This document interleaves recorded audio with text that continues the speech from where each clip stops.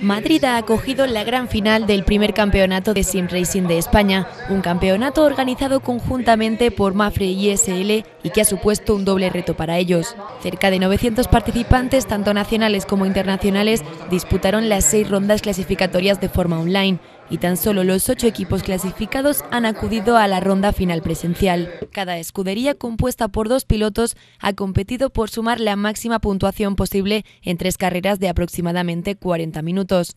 A pesar de los resultados tan ajustados, ha sido la escudería Edge eSports quien se ha hecho con el trofeo y con el premio de 6.000 euros.